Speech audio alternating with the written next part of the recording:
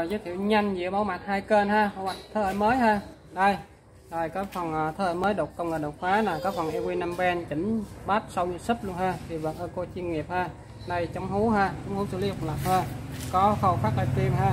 Đây bluetooth LCD ha. Đây thì ở đây mình sẽ test cái tiếng micro trước xem tiếng thì vợ có chuyên nghiệp hay không ha. Đây, đây, Alo, một hai ba bốn năm năm năm năm sáu, mười tám, chín.